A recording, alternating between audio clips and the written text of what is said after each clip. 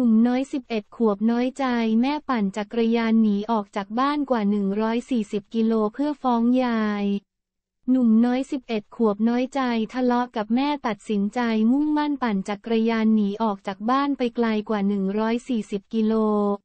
เพื่อฟ้องคุณยาย หนุ่มน้อย 11 ขวบน้อยใจ แม่ปั่นจักรยานหนีออกจากบ้านกว่า 140 กิโลเพื่อฟ้องยาย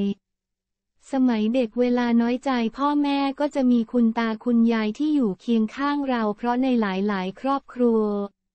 ส่วนใหญ่มักจะโตมาเพราะคุณยายคุณตาเลี้ยง จึงเป็นเรื่องธรรมดาที่เวลามีปัญหากับพ่อแม่เด็กๆ จึงเลือกไปพึ่งพาพวกท่านเช่นเดียวกับเด็กชายคนนี้ที่ทะเลาะกับแม่แล้วจะไปฟ้องยายแต่เรื่องจะไม่พีคเลยถ้าบ้านยายไม่ได้อยู่ไกลกว่า 140 กิโล โดยสื่อต่างประเทศได้รายงานกรณีของเด็กชาย 11 ขวบคนหนึ่งจากเมืองหางโจวมณฑลเจ้อเจียงประเทศจีน ที่เด็กชายทะเลาะกับแม่จนเกิดอาการน้อยใจ รีบปั่นจักรยานออกจากบ้าน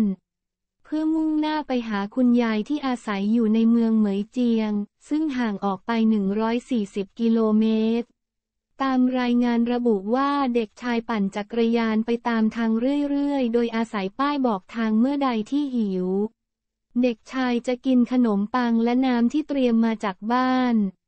แต่เนื่องจากอายุยังน้อยจึงทำให้เด็กชายเลี้ยวผิดอยู่หลายครั้ง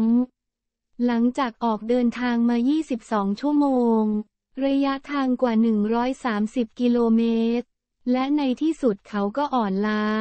เด็กชายได้นอนพักอยู่ริมทางผู้ที่สัญจรไปมาผ่านมาเห็นเข้า เด็กชายจึงถูกนำตัวไปยังสถานีตำรวจในท้องที่ ซึ่งเจ้าหน้าที่ต้องอุ้มเด็กชายลงจากรถ เนื่องจากหมดแรงกว่าที่จะเดินไหว จากนั้นเจ้าหน้าที่ได้โทร แจ้งผู้ปกครองให้มารับตัวของเด็กชาย หลังจากทราบเรื่องทั้งพ่อและแม่ของเด็กชายได้เดินทางมายังสถานีตำรวจ แม่ให้สัมภาษณ์ว่า เธอได้ยินลูกชายพูดถึงบ้านยาย แต่เธอคิดว่าลูกพูดเล่นเท่านั้น ไม่คิดว่าลูกชายจะกล้าทำจริจริ ฉันได้ยินลูกพูดถึงบ้านยาย แต่ตอนนั้นคิดว่าลูกพูดขึ้นมาเพราะอารมณ์โกรธ